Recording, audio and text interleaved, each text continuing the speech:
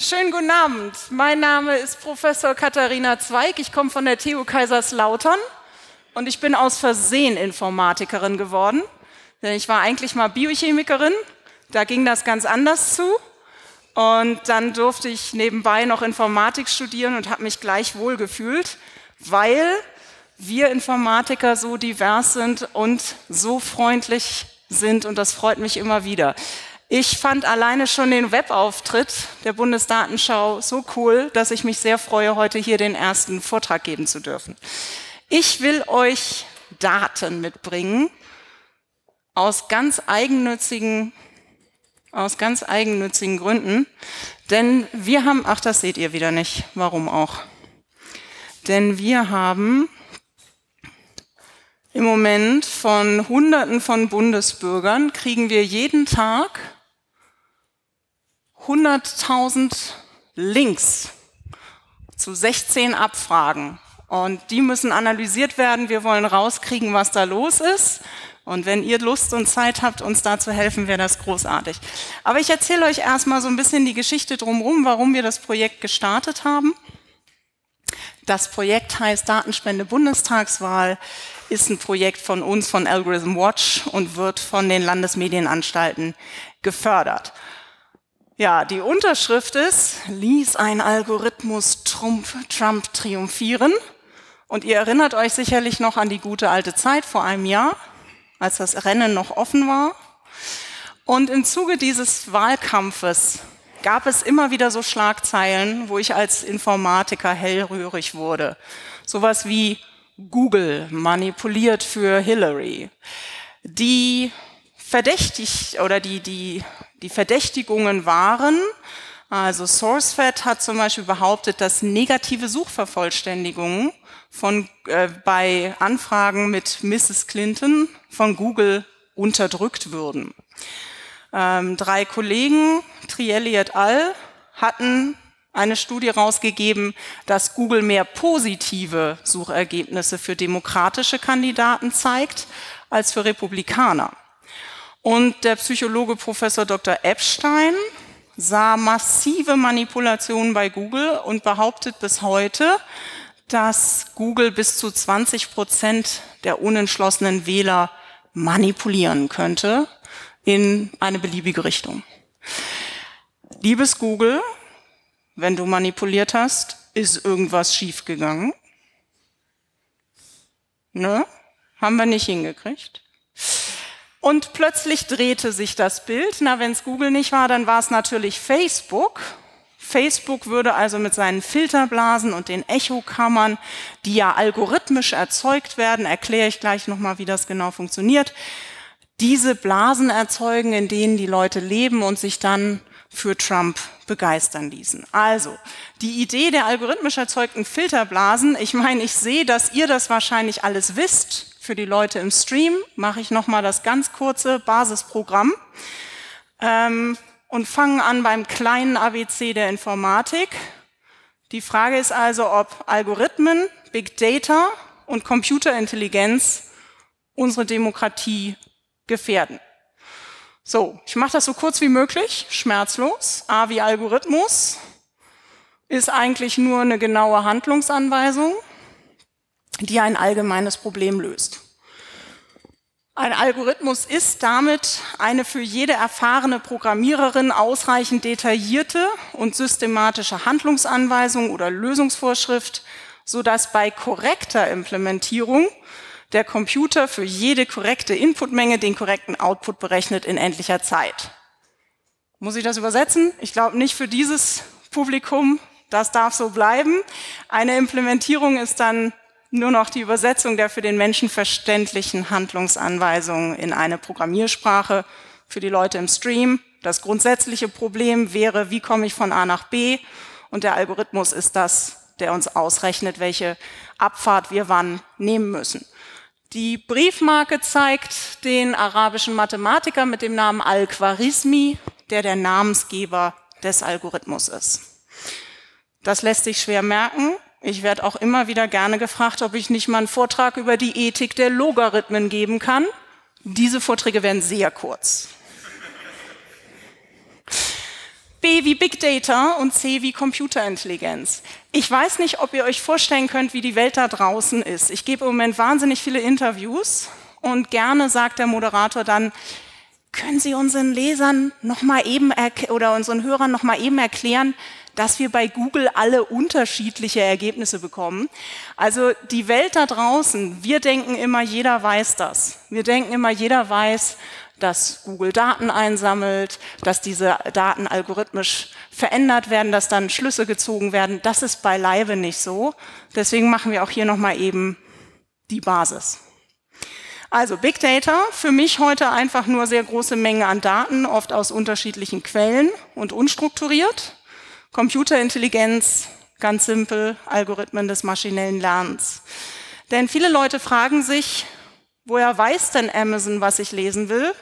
Google, was ich wissen will, Facebook, was mich unterhält, Twitter, was mich aufregt, Instagram, was mich freut und Pinterest, was ich basteln will.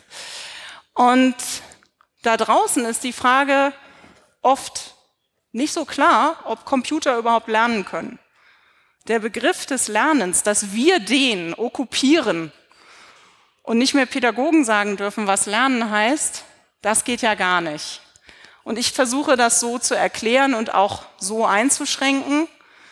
Was heißt Lernen? Für mich heute hier einfach nur in derselben Situation ein vorher gezeigtes Verhalten wiederholen oder in derselben Art von Situation das richtige Verhalten aus einer Reihe von Möglichkeiten auswählen. Also mit diesem beschränkten Lernenbegriff kommen die meisten dann klar.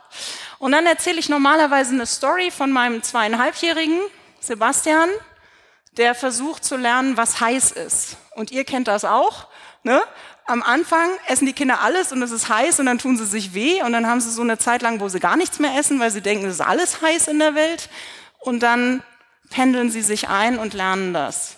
Also Kinder lernen durch Rückkopplung, durch Speicherung des Gelernten in einer Struktur, in Neuronen und deren Verknüpfung und durch sehr viele Erlebnisse, denn der ist jetzt, wie gesagt, so drei und der hat es immer noch nicht so ganz raus, wann jetzt wirklich was heiß ist. Insgesamt funktionieren Kinder besser, wenn sie das Gelernte generalisieren können. Wenn wir jetzt immer nur lernen würden, in genau dieser Situation so, ist es heiß, ist es kalt, ist der jetzt ärgerlich und der freut sich, das wäre nicht gut, sondern unsere Gehirne versuchen, möglichst generelle Regeln zu lernen weder zu überlernen noch zu stark zu generalisieren. Naja, und das haben wir auf Computer übertragen.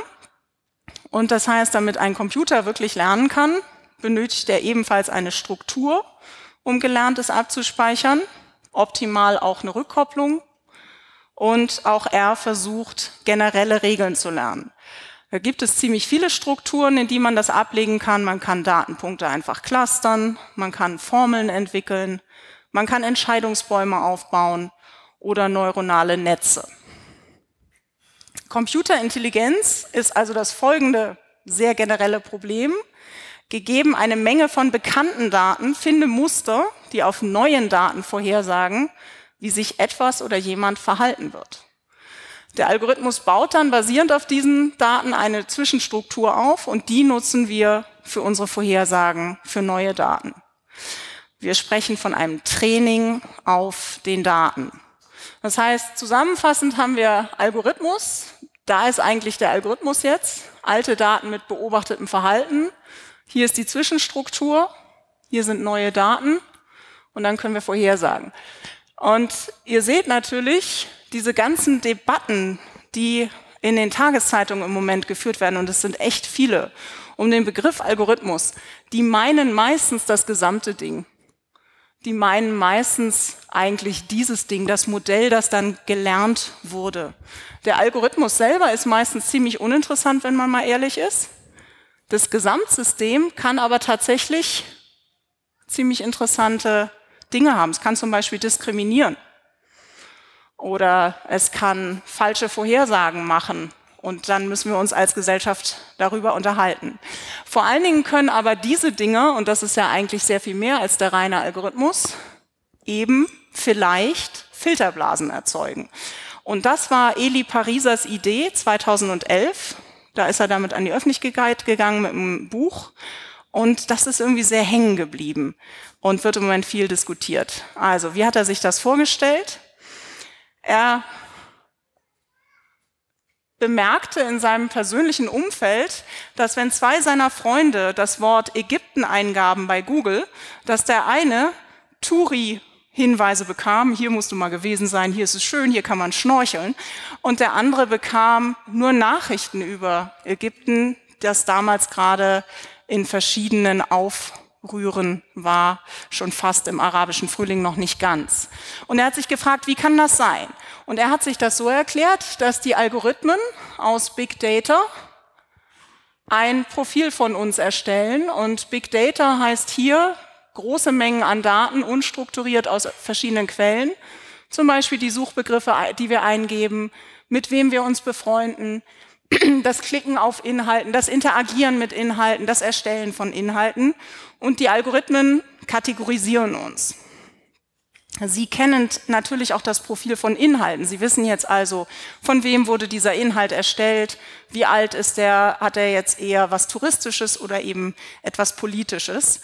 Sie wissen auch, was andere mit unserem Profil mögen und Sie können dann also durch Personalisierung uns Inhalte zugänglich machen, die wir selber noch nicht angeklickt haben, von denen der Algorithmus aber denkt, dass wir sie mögen. Und er meinte, dass diese Algorithmen damit die Chance haben, uns in Filterblasen gefangen zu halten.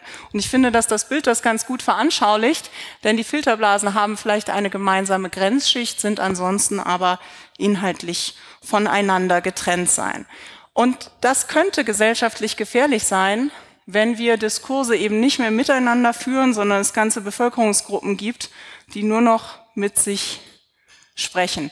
Und es gibt tatsächlich Hinweise darauf, dass das auf Facebook so ist. Es gibt einen tollen süddeutsche Zeitungsartikel von einem Journalisten, der sich ein Fake-Facebook-Profil aufgebaut hat mit dem Namen Tim. Und das Einzige, was er gemacht hat, ist die AfD zu liken. Und danach hat er geguckt, was so in seiner Timeline passiert. Und er beschreibt in seinem Artikel, wie sehr ihn das als Mensch beeinflusst hat. Er steht der AfD sonst nicht nah, aber er hat gesagt, die ganze Zeit in so einem Stream zu sein, der mir erzählt, dass Flüchtlinge andauernd Leute aufgreifen auf der Straße und verprügeln. Das hätte auch was mit ihm gemacht und in seinem normalen Leben, mit seiner normalen Person, hätte er angefangen, die Straßenseite zu wechseln. Also es könnte tatsächlich sein, dass solche Filterblasen etwas mit uns machen. Wenn Rechte nur noch Rechtes sehen und Linke nur noch Linkes, dann haben wir im Extrem eben keinen gesellschaftlichen Diskurs mehr. Deswegen also die Frage, ließ ein Algorithmus Trump triumphieren? Und dazu möchte ich euch erstmal ein bisschen einen Faktencheck geben. Als Wissenschaftlerin kann ich nicht anders. Und dann komme ich auf unser Datenspendeprojekt zu sprechen. Ein kleiner Disclaimer. Ich finde es wichtig zu sagen, dass weder ich selbst noch meine Forschungsgruppe noch Algorithm Watch in irgendeiner Form von diesen Firmen finanziell unterstützt wird oder es sonst da irgendwas gibt. Wir versuchen als Algorithm Watch einfach mal Fakten herzustellen. Wir finden, dass es entweder diese Superkritiker gibt, die sagen, geht dieses Internet vielleicht doch noch mal irgendwann weg? Ähm, wahrscheinlich nicht. Sieht schlecht aus. Ähm, und den Superenthusiasten, die denken, dass Computer und Algorithmen die Welt besser steuern könnten als wir Menschen. Und für mich und sicherlich auch für euch liegt die Wahrheit irgendwo in der Mitte und diese Mitte, die müssen wir jetzt finden. Denn sonst haben wir ganz schnell eins der beiden Extreme und wahrscheinlich ist es das Extrem mit den Algorithmen, die versuchen, alles ganz objektiv zu machen. Aber jetzt erstmal zum Faktencheck. Ihr erinnert euch, es wurde Google vorgeworfen, dass die Suchvervollständigungen bei Frau Clinton niemals etwas Negatives sagen. Im Vergleich zu anderen Suchmaschinen, Bing und Yahoo, sei es sehr schwierig, negative Suchvervollständigungen zu bekommen. Sie war noch in einem Gerichtsverfahren, während sie kandidiert hat. Und wenn man angefangen hat, Clinton in äh, IN einzugeben, dann hätte, wäre bei anderen Suchmaschinen Indictment, also Anklage oder Gerichtsverfahren gekommen und äh, bei Google kommt dann India und das macht tatsächlich wenig Sinn. Der Witz ist aber, das macht ja nichts, wenn Google das sowohl für Clinton als auch für Trump tut. Es ist natürlich komisch, wenn jetzt bei Clinton negative Suchvervollständigungen unterdrückt werden, die bei Trump kommen. Dafür gab es aber eigentlich keine Anzeichen und wenn dann nur so bei ganz wilden kleinen Suchanfragen. Was da also nicht erkennbar ist, ist eine einseitige Verzerrung. Und naja, wer ist schuld dran, dass Google keine negativen Suchvervollständigungen mehr macht? Wir Europäer. Denn bei uns gab es Gerichtsverfahren zur Schutz der Person. Ähm, die versucht haben, Persönlichkeitsrechte durchzusetzen, unter anderem im Fall Wolf, an den ihr euch vielleicht noch erinnert, auch wenn es schon ein paar Jährchen her ist. Ähm, und in, in, Europa wird das eben nicht gemacht. Ich nehme an, dass Google das international umgesetzt hat und deswegen gibt es keine negativen Suchvervollständigungen, aber es gibt eigentlich keine Anzeichen dafür, dass das irgendwie einseitig war. Was man übrigens immer noch kriegt, ich weiß nicht, ob das heute auch funktioniert, ist, äh, Clinton ist, Clinton ist ein Reptil. Wer kennt die Verschwörungstheorie dahinter? Reptiloide haben die Welt übernommen und Politiker tragen nur Masken. Wenn ihr Spaß haben wollt, zehn Minuten Reptiloiden-Theorie nachgucken. Aber nicht jetzt, später. Der Faktencheck Google 2. Ähm, Trielli und Kollegen hatten für alle Präsidentschaftskandidaten, als es noch 16 Stück waren, die per Namen gegoogelt und haben dann mit Mechanical Turk bewerten lassen, ob die Sucheinträge, die sie da gefunden haben, eher positiv über den Kandidaten sprechen oder negativ. Und haben herausgefunden, dass die Demokraten im Durchschnitt sieben positive Einträge haben und die Republikaner nur 5,9. Das wäre schon interessant, klingt ein bisschen nach Einseitigkeit. Ähm, es beruht erstens aber auf der normalen Google-Suche und nicht auf den Nachrichten. Und zweitens äh, würde man da also hauptsächlich selbst kuratierte Seiten erwarten. Wenn ich Frau Merkel google, dann möchte ich ihre eigene Webseite haben, dann möchte ich ihre Bundestags-Webseite sehen. Und natürlich spricht die gut über Frau Merkel. Das ist also eher eine Frage der, des äh, Search Engine Optimizations, ob man das gut hinkriegt oder nicht. Bedenklich ist, dass es aus statistischer Sicht nur drei Demokraten gab und 13 republikanische Kandidaten, eine Statistik über drei Leute. Naja, und Bernie Sanders hat es halt wirklich sehr gut hingekriegt. Der hatte neun Social-Media-Accounts unter den ersten zehn Suchergebnissen. Wenn man den rausnimmt, dann steht 6 zu 5,9. Naja.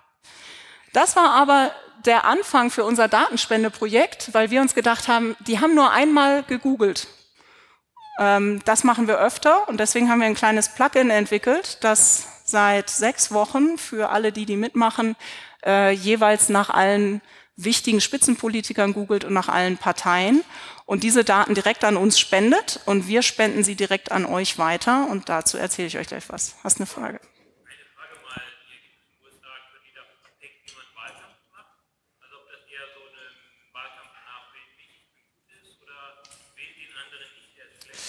Ja, das. Ja, also soweit ich die Frage verstanden habe, ist, wie ist denn die Art des Wahlkampfes? Ähm, ist das eher so eine, ich mache den anderen schlecht oder ich guck mal, was ich alles mache? Das kann ich sehr schwer beurteilen, aber das, was wir so mitgekriegt haben über den Teich, war ja sehr viel Schlammschlacht, also wirklich extrem viel Schlammschlacht aus meiner Sicht und ähm, trotzdem aber auch Themen. Also natürlich hat Trump für seine Mauer ähm, Wahlkampf gemacht und hat auf der anderen Seite ähm, auch gegen Clinton gewettert und umgekehrt auch. Also definitiv ist das ein anderer Wahlkampf als bei uns, ähm, aber ich denke schon, dass er beide Seiten hat. Ja, dann gab es noch Epstein und Robertson, die warnen vor dem Suchmaschinenmanipulationseffekt. Was, die haben auch ein Experiment gemacht und tatsächlich vor einer Wahl in Indien. Die haben äh, indische Wähler in ein Labor gebeten und haben denen fingierte Suchmaschinenergebnisse zu den drei Kandidaten gegeben. Und die waren so präpariert, dass man entweder nur die guten Ergebnisse von Kandidat A ganz oben hatte oder nur die guten äh, Ergebnisse von Kandidat B oder nur die von C.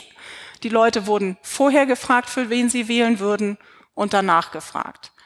Und es ist ganz klar, dass das was mit jemandem macht, weil kaum einer von uns scrollt durch alle Suchmaschinenergebnisse bis ganz nach unten. Wenn man da die guten Sachen über einen anderen Kandidaten versteckt, dann macht das was mit uns. Ähm, er hat äh, in ihrer Studie, die sehr, sehr hochklassig äh, veröffentlicht wurde. Das war The Proceedings of the National Academy of the Sciences. Das ist die drittbeste Zeitschrift in, in den Naturwissenschaften. Haben sie äh, gezeigt, dass 20 Prozent oder gar bis zu 80 Prozent dieser äh, der unentschiedenen Wähler durch diese manipulierte Reihenfolge umgedreht werden könnten. Leider war das mathematisch fehlerhaft, denn was sie da gemacht haben, ist, dass sie die Effekte addiert haben. Also wir können vier Prozent der Leute zu Kandidat A umdrehen und sechs zu B und vier zu C macht 14 Prozent.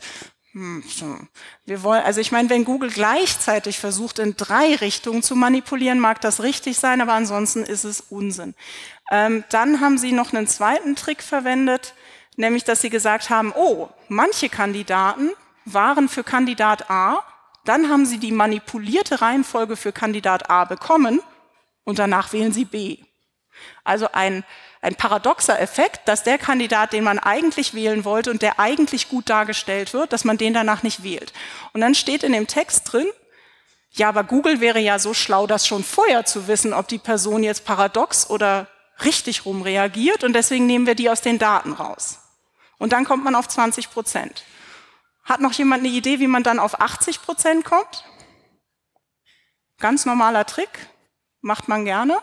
Man nimmt sehr, sehr viele Variablen über die Person. Du weißt, wie alt die sind, wie viel Geld die haben, ob die religiös sind oder nicht. Man nimmt so 20 Variablen und dann sucht man so lange nach einer kleinen Gruppe, bis man eine gefunden hat, wo 80 Prozent der Leute umgedreht werden. Hm? ob, ob die Studie Trolle angezogen hat oder, oder betrachtet hat.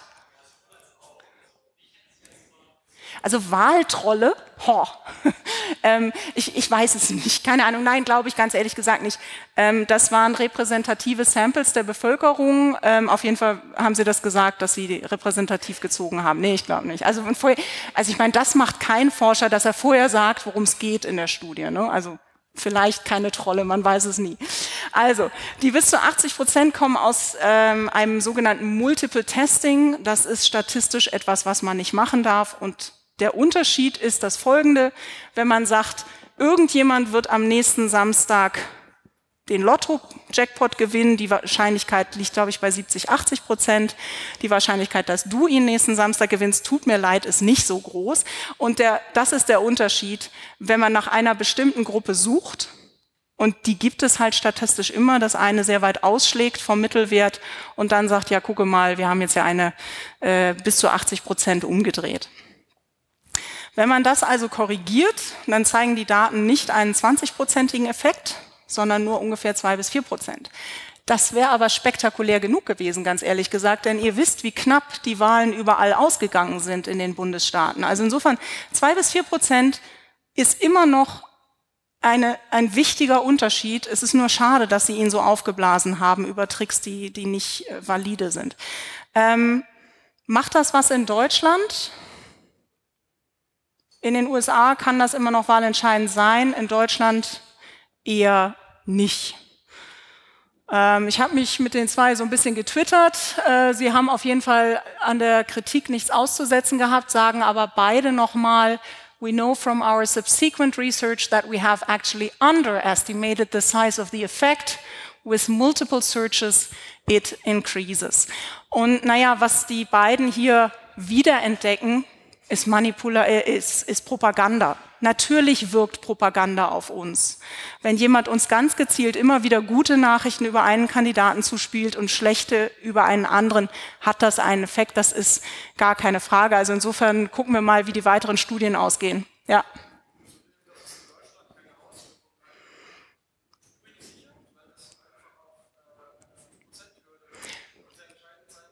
Das stimmt. Ja, also der, die Bemerkung war, dass das natürlich schon dann einen Effekt haben könnte, wenn jetzt Leute über die 5%-Hürde gehievt werden würden. Wir kommen zu dem Punkt nochmal zurück, ich verspreche es, kommt gleich. Facebook war auch in der Kritik, dass es Filterblasen und Echokammern erzeuge. Die Situation da ist unheimlich schwer wissenschaftlich zu beantworten. Ähm, es gibt eine Studie von deutschen Wissenschaftlern, Hagen, Inderau und Wieland, Die haben Leute gefragt, wie steht ihr zu der Aussage von Merkel, ja, wir schaffen das. Auf so einer Skala von eins bis sieben. Und dann war die Frage, wie radikal sind die Leute? Und da gab es tatsächlich einen Effekt, nämlich bei Personen ohne Abitur, je mehr die auf sozialen Netzwerken unterwegs sind, desto stärker ist die Polarisierung. Aber wohl auch durchaus in beide Richtungen. Aber das ist schon so ein interessanter, eine interessante Studie. Glücklicherweise äh, zeigt eine andere Studie, dass wir Deutschen eben nicht nur auf Facebook unterwegs sind. Ja, wir, gut, ne? Ähm, aber gut, mal eine andere Frage. Wer von euch hat noch eine Tageszeitung abonniert? Ja, auch nicht mehr so viele, ne? Ja, also äh, trotzdem, Hans-Bredow-Institut sagt, äh, wir gucken alle noch Fernsehen, wir hören vor allen Dingen ziemlich viel Radio. Ähm, wir sind auf verschiedenen sozialen Netzwerken unterwegs und manche von uns lesen auch noch mal eine Zeitung. Und insofern äh, brauchen wir uns nicht so viele Sorgen zu machen. Eine Sache, die nicht genannt wurde, die ich eigentlich ziemlich kritisch finde, sind die sogenannten Wahlbuttons. Ähm, die gibt es auch durchaus manchmal in Deutschland. Ich weiß aber nicht, ob sie noch flächendeckend eingesetzt werden. Bei uns in der Landtagswahl in, in Rheinland-Pfalz war auf Facebook bei manchen ein solcher Wahlbutton zu sehen. Ich bin Wähler, sag deinen Freunden, dass du wählen gehst. Weitere Informationen gibt es hier.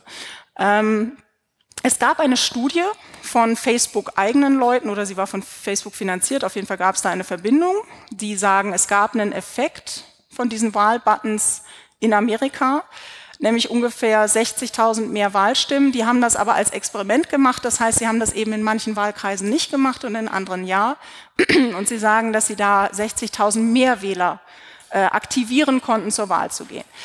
Das ist technisch für uns zum Beispiel im Moment überhaupt nicht nachvollziehbar, ob dieser Wahlbutton gleichmäßig ausgerollt wird. Weil es ist tatsächlich relativ einfach rauszukriegen, ob jetzt jemand Republikaner oder Demokrat ist. Und es wäre relativ einfach, nur der einen Hälfte der Bevölkerung diesen Wahlbutton zu geben. Ich persönlich glaube das nicht, aber ich bin ja Wissenschaftler, ich muss nicht glauben, ich würde es gerne messen können. Und das ist im Moment nicht möglich und ich glaube, dass wir das brauchen. Also, das war der Faktencheck. Manipulieren uns Algorithmen bei der Bundestagswahl? Also meine persönliche Meinung ist, dass das technisch möglich ist, dass wir natürlich eine Infrastruktur da sehen, die teilweise nahezu monopolistisch genutzt wird. Es gibt also nicht wie bei den Tageszeitungen sehr viele davon. Und dass natürlich diese Infrastruktur jederzeit zur Manipulation eingesetzt werden könnte. Aber, und jetzt kommen wir zu deiner Frage, ähm, das ist ja wie bei einem Krimi. Erstens sollte es Indizien geben, so DNA-Spuren oder so, ja, irgendwas, dass das wirklich so ist. Und man braucht nicht nur Möglichkeit und Gelegenheit, man braucht auch ein sinnvolles Motiv. Und das ist sehr wenig diskutiert worden in diesen amerikanischen Studien. Was wäre das Motiv von Facebook oder Google, in solche Wahlen einzugreifen? Das würde mich wirklich interessieren, wenn da jemand einen plausiblen Plot hat. Denn aus meiner Sicht wären die Kosten durch einen Leak ganz enorm. Stellt euch vor, irgendein Mitarbeiter kann beweisen, da wurde manipuliert in die eine oder andere Richtung, dann verliert man die Wähler der anderen Partei und in Amerika sind das eben ungefähr 50 Prozent und man verliert noch ein paar Leute, die das einfach scheiße finden. Ich kann mir das nicht persönlich nicht vorstellen. Mein persönliches Fazit ist, dass das momentan unwahrscheinlich ist. Weil das aber möglich ist, finde ich es wichtig, dass wir da eine stetige Überwachung haben und auch mit einem repräsentativen Sample. Und dafür habe ich das weltweit erste Projekt ins Leben gerufen, wo wir mal versuchen, wie aufwendig wäre das denn? Kriegen wir das hin? Können wir Teile von diesen Fragen rauskriegen? Und wenn ja, wie aufwendig ist das? Und das ist das Datenspendeprojekt, was ich zusammen mit meiner ähm, mit der von mir mitgegründeten Gruppe Algorithm Watch mache. Was ist Algorithm Watch? Ähm, wir sind vier Leute. Ähm, wir haben äh, eine Rechtsphilosophin an Bord, die sich darum kümmert, wann muss etwas reguliert werden, wann muss es per Gesetz gemacht werden, wann gibt es andere Methoden, ähm, um etwas durchzusetzen, was wir für richtig halten. Dann haben wir einen Datenjournalisten, das ist äh, äh der, Name der Rechtsphilosophin ist Lorena Jaume Palasi. Ähm, Lorenz Matzert ist Datenjournalist, kümmert sich schon seit mehreren Jahren darum, Daten besser verstehbar zu machen für Journalisten und damit auch für die Öffentlichkeit. Matthias Spielkamp hat eine Firma gegründet, die heißt iRights. Der war sehr früh schon unterwegs mit diesen ganzen Urheberrechtsfragen, die sich gestellt haben durch das Internet. Ähm, und ich. Und warum? Naja, diese algorithmischen Systeme, wie ich sie euch vorgestellt habe, die können nicht nur personalisieren. Mich persönlich interessiert in der Forschung zum Beispiel gerade die algorithmischen Entscheidungssysteme, die junge Kriminelle beurteilen sollen, ob sie wieder rückfällig werden. Und da könnt ihr euch vorstellen, dass wenn die Datenlage nicht sehr sauber ist und wenn es da keine sehr guten Regeln gibt, nach denen man wirklich vorhersagen kann, ob jemand wieder kriminell wird oder nicht, dass eine Maschine dahin zu setzen, für einen Richter, der selber keine mathematische Ausbildung hat und der sagt dann Klasse 8, Hochrisiko, Krimineller, dann fragt der Richter vielleicht nicht mehr nach, ja, was heißt jetzt Hochrisiko? Ja, Hochrisiko heißt, dass der mit 60-prozentiger Wahrscheinlichkeit wieder rückfällig wird. Ist das wirklich relevant? Ist 60 Prozent genug, um den jungen Mann jetzt für zwei Jahre mehr zu verknacken? Daran arbeiten wir gerade. Das heißt, die Mission von, von Algorithm Watch ist auf der einen Seite aufzuklären, dass wir nicht den Hype in die eine Richtung haben, alles ist böse und alles ist gut und viel besser, als Menschen das je machen könnten. Wir wollen die Community vernetzen, deswegen bin ich froh, heute hier zu sein. Wir wollen ähm, selber watchen, das heißt, wir haben auch einige Algorithmen schon gewatcht und wir wollen dafür sorgen, dass es eine vernünftige Art der Begleitung gibt, um diese Algorithmen und algorithmischen Systeme zu bauen. Und das Datenspendeprojekt ist ein Weg dazu. Was machen wir? Wir haben dieses kleine Plugin gebaut, das sich inzwischen bestimmt alle runtergeladen haben.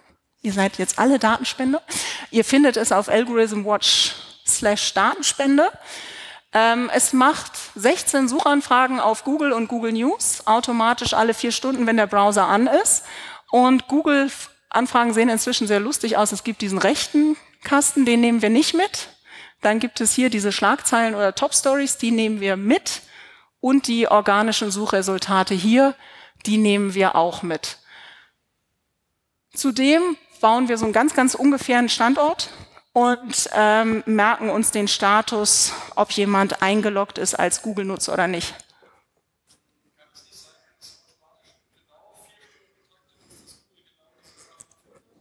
Könnt, also die Frage ist, könnte nicht Google das merken? Ich liebe Verschwörungstheoretiker. Ähm, ist mir eigentlich wurscht. Weil wenn das rauskommt, was ich euch gleich sage, weil wir sie beobachten, dann beobachten wir sie halt, glaube ich aber nicht. Also ich halte es nicht für wahrscheinlich, ja, sie könnten das sicherlich rauskriegen. Es ist aber so, dass wir ähm, Leute, die gerade nicht im Browser sind, wenn wir suchen, ähm, die machen das danach. Also sie kommen von der Mittagspause wieder und waren um 12 Uhr nicht dran, dann machen wir das um 13.15 Uhr. Das heißt, wir haben auch an anderen Zeitpunkten gesucht und das sieht auch nicht anders aus. Und wie gesagt, selbst wenn das so wäre, wie, ne, aber der Teil davor hat schon gesagt, wir sehen keine Anzeichen dafür und es gibt eigentlich auch kein Motiv. Ähm, selbst wenn das so wäre, wäre es ja auch prima, spricht halt dafür, das länger zu machen. Ja.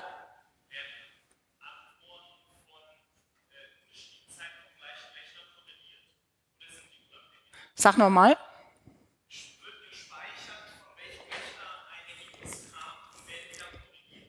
Wir haben diese Information im Moment tatsächlich. Das ist einfach eine Nummer. Jedes Plugin hat eine Nummer, die werden, kriegen wir mit.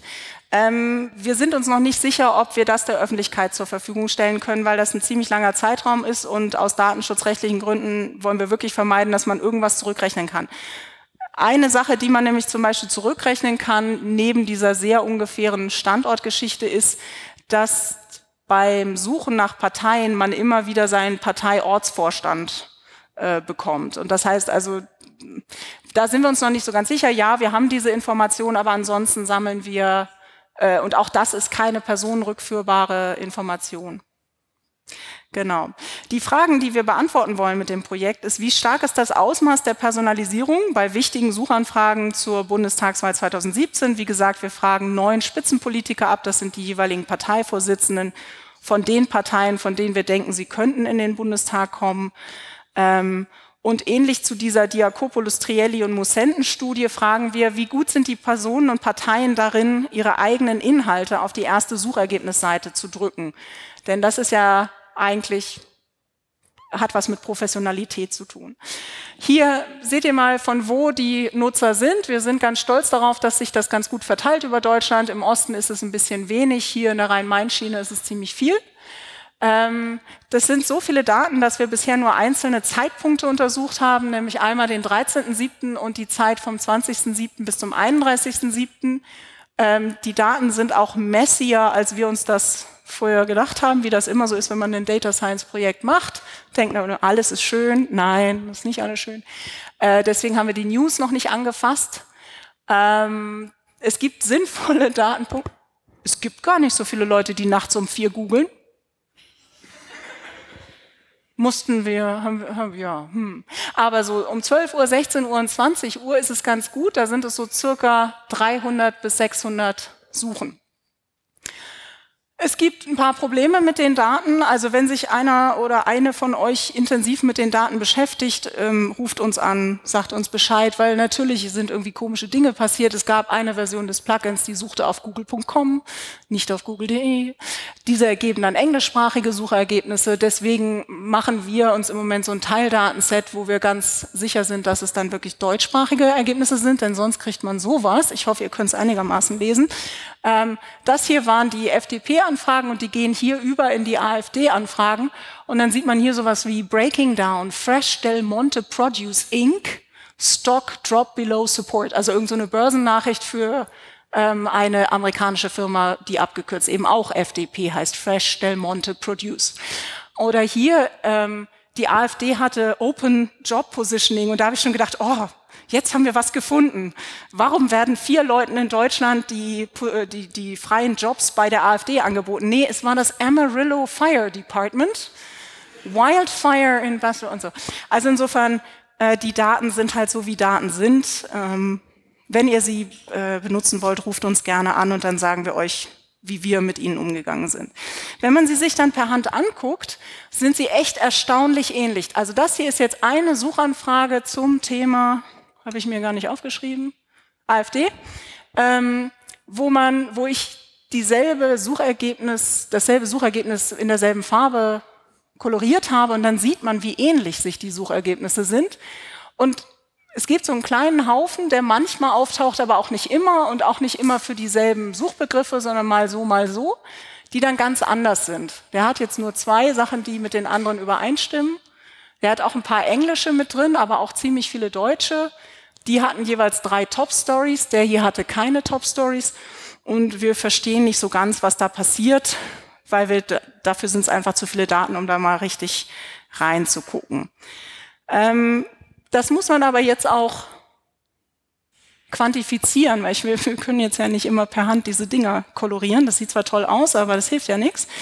Und da habe ich äh, als allererstes gedacht, ne, so als Informatiker, dann schlägt man so ein Buch auf und sagt, ja, wie, wie beschreibt man denn am besten, wie zwei Sets, wie zwei Mengen ähnlich sind zueinander?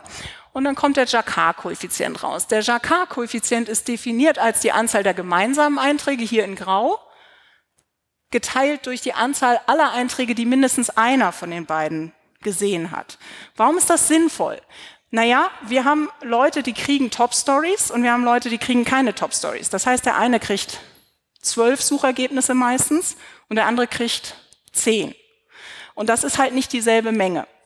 Wenn man, deswegen geht man dann als Informatiker ran und sagt, okay, das sind Mengen mit unterschiedlichen Kardinalitäten, was tue ich jetzt? Jacquard-Koeffizient ist dann eigentlich die Wahl. Das haben wir auch zuerst gemacht. Dann kommen dabei solche Ergebnisse raus.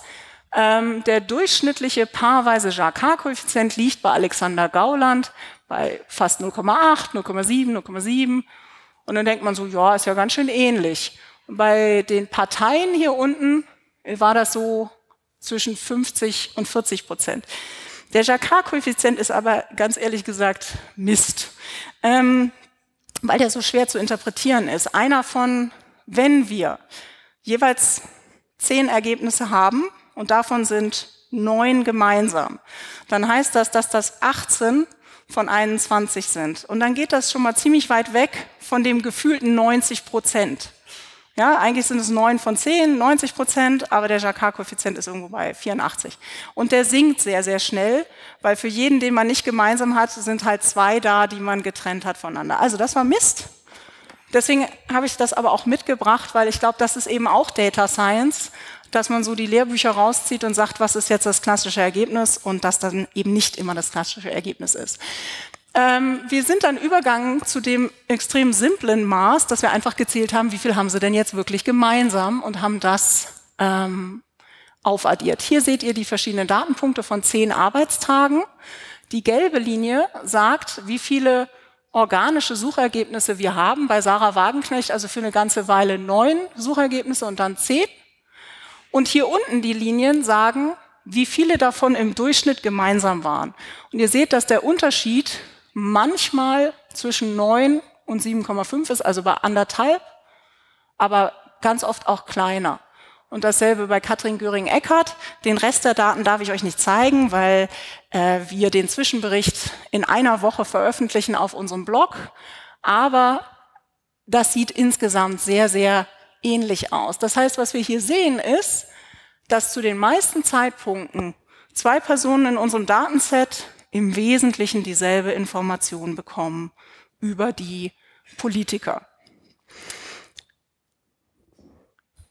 Ich will euch damit Mut machen, keine Angst zu haben vor simplen Maßen. Manchmal neigen wir dazu, ein bisschen zu kompliziert zu denken.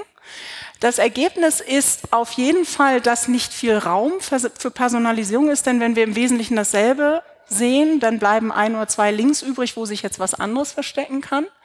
Bei den Parteien war es ein bisschen anders. Die haben paarweise weniger geteilte Links. Aber wenn man sich die anguckt, die nicht geteilt werden, dann verweisen die meisten davon auf regionale Webseiten. Das sieht dann also so aus, CDU Baden-Baden, CDU Bad Godesberg, Bad Honnef und so weiter. Die haben ganz schön viele Ortsvereine, 13.000 oder so. Wusste ich vorher gar nicht. Also, schmeißt euch bitte in die Daten. Wir können da noch jede Menge Hilfe gebrauchen. Aber auch hier, wir haben im Wesentlichen gezeigt, dass auch diese Filterblasen-Idee für Suchmaschinen kaum Platz dafür ist. Ja? Wenn, ich, wenn ich acht gemeinsame Links bekomme und einer ist anders, dann spricht das eigentlich nicht für eine Filterblase auf Suchmaschinen. Gucken wir uns aber jetzt mal an, nachdem wir von den Firmen weggehen können, bei denen ich als Person jetzt wirklich keine Anzeichen für irgendeine Art von Manipulation oder Fahrlässigkeit im Moment da an dieser Stelle sehen kann mit diesen Suchbegriffen. Gucken wir doch mal an, was andere so mit den Algorithmen anstellen. Denn im, Bund, äh, im Wahlkampf bei den Amerikanern gab es jetzt ja weitere Verdächtigte. Und ich weiß, weiß nicht, ob da schon mal jemand Urlaub gemacht hat. Kennt jemand die Flagge, das Wappen? BuzzFeed schrieb, dass ein deutlicher Anteil der Nachrichten auf hyperkonservativen Webseiten falsch oder eine Mischung aus falschen und korrekten Nachrichten ist. Die haben sich also Mühe gegeben, das zu quantifizieren. Ich habe hier immer jeweils den Link, da könnt ihr es nachlesen. Und ein Teil dieser Hyperpartisan-Webseiten stammte aus Mazedonien. Ähm, ich habe lange gezögert, ob ich das mit aufnehme auf die Folien, weil die Geschichte zu merkwürdig klingt, aber mehrere unabhängige Journalisten berichten darüber. Also, die meisten Texte auf diesen Seiten sind zusammengeschrieben oder einfach abgeschrieben von rechtslastigen Webseiten der USA. Die Mazedonier sahen irgendwo eine Story, versetzten sie mit einer aufgeheizten Überschrift und veröffentlichten es dann schnell auf ihrer Webseite. Dann teilen sie die Nachricht auf Facebook und veranlassen damit Leute, auf ihre Seite zu kommen je mehr Leute sich verführen lassen, desto mehr Geld verdienen sie durch Werbung auf ihrer Webseite. Es gibt Blogs, die sagen, so viel Geld kann man damit gar nicht verdienen, dass sich das lohnt. Aber wie gesagt, mehrere Journalistenteams waren unabhängig voneinander unten, haben mit den Leuten gesprochen. Die Lage ist ein bisschen unklar. Ich kann mir das durchaus vorstellen. Aber wenn da mal jemand ähm, wirklich recherchieren könnte, wie viel Geld man damit machen kann, wie viel Traffic man braucht und ob das realistisch ist, das fände ich ist eine Lücke, die fehlt. Die Geschichte klingt aber auf jeden Fall so, als könnte, könnte das funktionieren und als würden hier eigentlich sinnvolle Algorithmen sich ziemlich schlecht ergänzen. Es ist klar, als Menschen sprechen wir mehr auf Emotionales an als auf Faktisches. Suchmaschinen und Newsfeeds und andere Empfehlungssysteme servieren uns, was wir eh schon mögen. Und Werbeanzeigen werden fast unabhängig davon verkauft, wer auf diesen Webseiten sich tummelt. Und das ist anders als früher mit den Magazinen. Ja, wenn man eine Frau über 40 haben wollte, dann hat man eben in der Brigitte eine, An äh, eine Anzeige geschaltet und dann wusste man ganz schön viel über die Menschen. Auf Breitbart oder auf anderen Seiten, da kann halt wirklich jeder drauf sein und es interessiert die Werbetreibenden nicht mehr, weil das jetzt über Intermediäre vermittelt wird. Und ich denke, dass, dass das nicht so gut ist, weil wir da diesen, diese Qualitätsanspruch, diesen Feedback nicht mehr haben. Das Rezept ist dann, möglichst emotionale und gerne falsche Inhalte, die möglichst viel Traffic äh, erzeugen, anzubieten und äh, damit eben Geld zu machen. Ein weiterer Punkt, über den jetzt viel diskutiert wird, sind die sogenannten Social Bots. Das sind Algorithmen, die auf Interaktionen mit Nachrichten reagieren können, so als ob sie Menschen wären. Eine Interaktion mit einer Nachricht erhöht das Ranking der Nachricht. Inzwischen sind die aber auch so schlau, auf Menschen, loszu, äh, auf Menschen zu antworten. Ähm, und wer sich im Moment auf Facebook oder Twitter tummelt, der wundert sich wirklich, wie schnell ähm, Diskussionen umkippen in eine bestimmte Richtung und da werden ziemlich viele Bots unterwegs sein im Moment. Sie manipulieren damit die Algorithmen, sie manipulieren auch uns, weil man das Gefühl hat, alle hier in der Diskussion sind dieser Meinung. Aber wenn das natürlich sieben oder acht Bots sind, die gar nicht unabhängig voneinander diese Meinung haben, sondern die Meinung von einem einzigen Designer darstellen, dann ist das eben nicht so. Naja, und das kann auch aus anderen Ländern heraus passieren. Ich bin kein Politikwissenschaftler, ich werde keine Länder nennen, aber es muss einem klar sein, dass es hier nicht nur um nationale Interessen geht. Ich glaube, dass man einen Teil dieses, dieser Problematik austrocknen könnte. Dieses, ich zahle für eine Werbung und weiß gar nicht, wer das nachher sieht. Denn es werden ja Seiten finanziert, die viele Klicks haben, aber sich nicht unbedingt durch Qualität auszeichnen. Und deswegen brauchen wir hier einen neuen Anreiz. Zum Beispiel wäre es wichtig, dass den Werbetreibenden bewusst gemacht wird, wer eigentlich durch Werbung finanziert wird. Da gab es eine Aktion, ähm, die aber inzwischen auch schon wieder eingestellt ist. Und das, da müsste man sich mal überlegen, was ein gutes Konzept wäre. Es gibt auch Berichte, dass sich zum Beispiel Extremisten über durch Google und YouTube vermittelte Werbung teilweise finanzieren. Und auch da beginnt sich erster Protest zu bilden, insbesondere in Großbritannien. Auf der anderen Seite wollen wir halt auch nicht Firmen zu Zensurbehörden machen. Also ich glaube, dass wir hier ein gesamtgesellschaftliches Konzept brauchen, um das in den Griff zu kriegen. Naja, und wer manipuliert noch? Nicht zuletzt sind es natürlich die Parteien selbst. Search Engine Optimization gehört zur Kunst des Parteimarketings, ist als solches aus meiner Sicht auch nicht zu verurteilen. Und zum ersten Mal reden wir über feingranulare, personalisierte Werbung.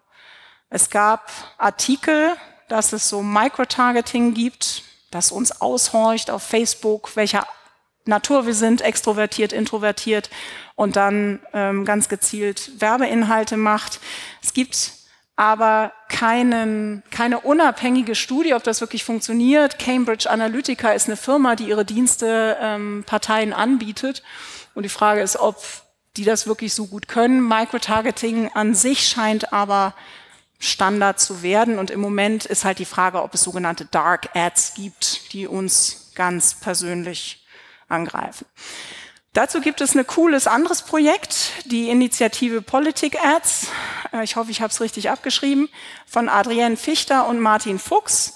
Wenn ihr also politische Anzeigen seht auf Facebook, bitte einen Screenshot machen und möglichst auch noch dieses Ding hier anklicken, warum sehe ich diese Werbung und mit auf den Screenshot legen, ähm, weil ja alle gerne wissen würden, wie das passiert. Wir brauchen eure Hilfe. Wir haben jetzt diese Riesenmasse an Daten wir brauchen sowohl Leute, die qualitativ Lust haben, sich mit den Inhalten auseinanderzusetzen, die hinter den Links stehen. Wir brauchen einfach Data Nerds, die Lust haben, sich durch diesen enormen Haufen an Daten durchzuwühlen. Da ist unheimlich viel drin. Ich bin Professorin, ich kann auch eine Bachelorarbeit oder so gerne mitbetreuen, falls das ein Anreiz ist für irgendjemanden oder Masterarbeiten oder so. Also es gibt da ganz, ganz viel zu tun. Nur ein paar Fragen. Warum wird ein Artikel von queer.de bei der Frage nach Gauland gezeigt? Was genau macht der Blog Philosophia, Entschuldigung, Philosophia Perennis? Wie viele Sputnik-Einträge gibt es? Oder, oder, oder. Wir sind gespannt, was euch alles einfällt. Und jetzt freue ich mich auf eure Fragen. Vielen Dank.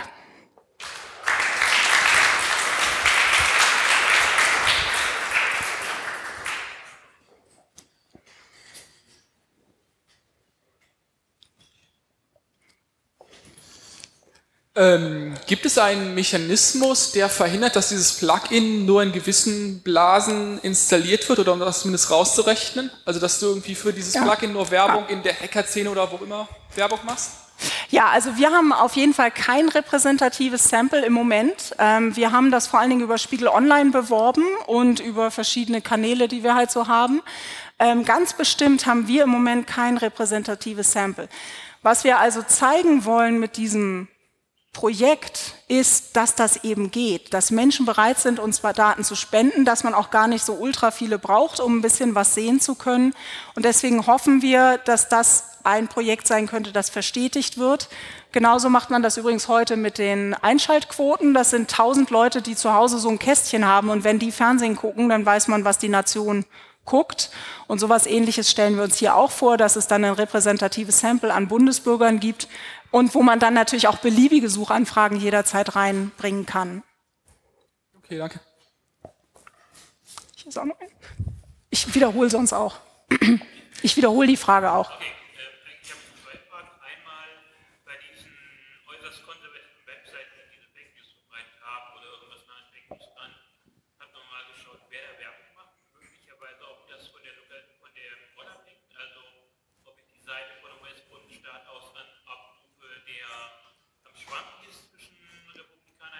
Ah. Genau, also die Frage war, ähm, ob die Parteiwerbung da besonders viel geschaltet wird, wo wir so Wechselstaaten haben. Und also ich kenne keine Studie, die das gemacht hat im Internet, aber wir wissen, dass die Wechselwähler immer das Target sind von Politik. Ähm, und insbesondere beim Hausbesuch war es ganz, ganz klar, dass man da die Leute rausgesucht hat, die Wechselwähler sind, weil die, die man schon in der Tasche hat, die brauchst du nicht, brauchst du keine Zeit verschwenden. Und die, die ganz fest im anderen Lager sind, da brauchst du auch keine Zeit verschwenden. Also da dreht sich immer nur um die Leute, die man vielleicht kriegt. Das war die erste Frage.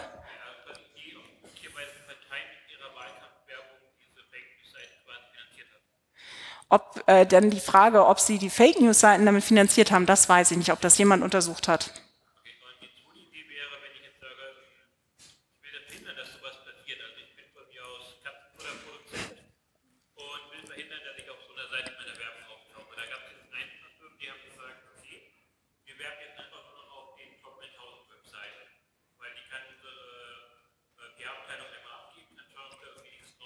Hm.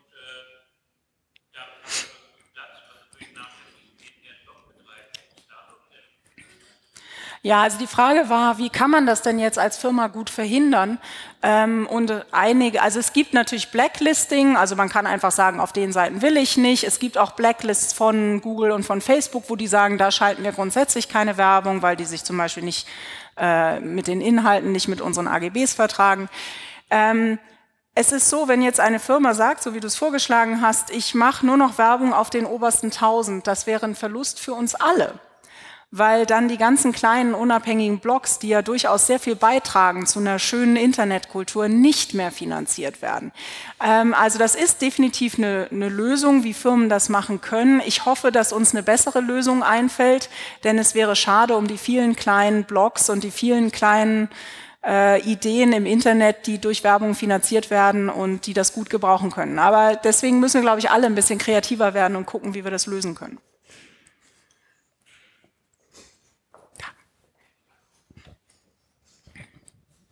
Ähm, das schließt ein bisschen an die Frage an, ob wie repräsentativ dieses Sample ist. Wenn ich spätestens, wenn ich auf Spiegel Online den Artikel über dieses Add-on gelesen hätte, hätte ich mir, glaube ich, im gleichen Zug den Privacy Badger installiert.